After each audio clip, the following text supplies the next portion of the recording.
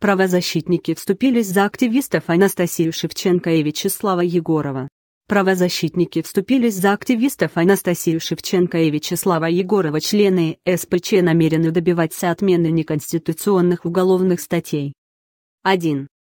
Коммерсант от 7 февраля 2019 года, 14.31 члены Президентского совета по правам человека, СПЧ, и ряда правозащитных организаций выступили в защиту активистов Анастасии Шевченко и Вячеслава Егорова. Анастасию Шевченко обвиняют в участии в нежелательной организации, Вячеславу Егорову вменяют неоднократное нарушение правил проведения митингов. Их дело могут стать началом новой волны политических репрессий против активистов на местном уровне, полагают правозащитники. Правозащитники приняли заявление в защиту активистов Анастасии Шевченко и Вячеслава Егорова на всех стадиях их преследования. Мы будем максимально привлекать внимание общества и государственных правозащитных институтов уполномоченного по правам человека в РФ и Совета по правам человека к этим делам.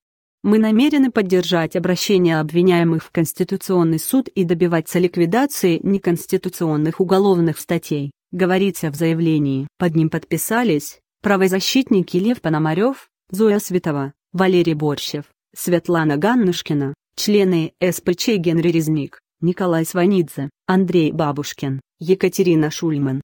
Члены Федерального совета «Открытой России» Анастасии Шевченко, напомним, обвиняют по СТ 284.1 УК РФ, осуществление деятельности организации, признанной на территории России нежелательной.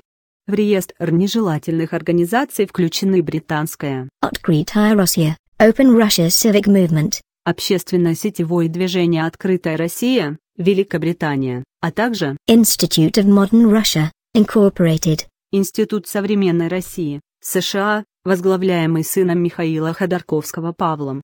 Но в «Открытой России» настаивают, что не имеют отношения к британской организации. Общественное сетевое движение «Открытая Россия» не обладает правами юридического лица ввиду отсутствия государственной регистрации движения.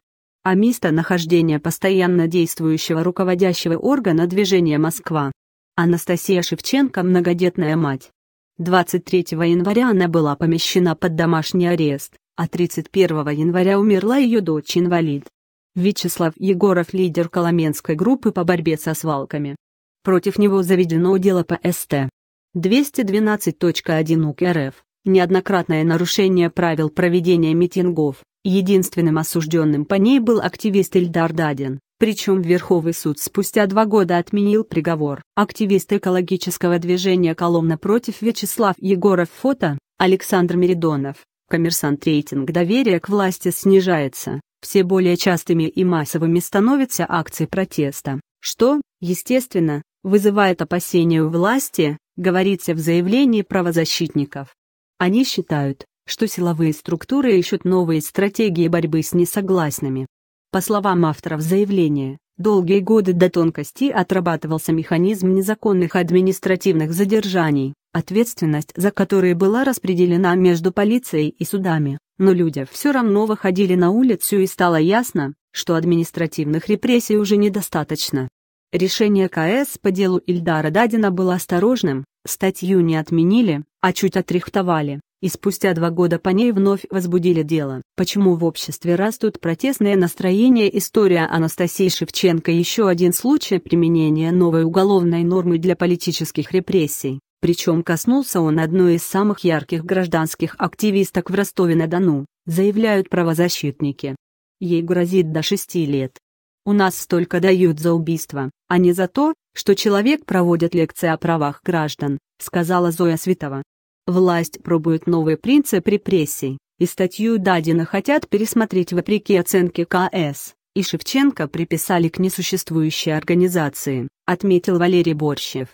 Как заявляют в движении «Открытая Россия», если власти удастся осудить многодетную мать-одиночку посредством фабрикации уголовного дела за надуманные административные нарушения, то остановить этот механизм будет уже невозможно.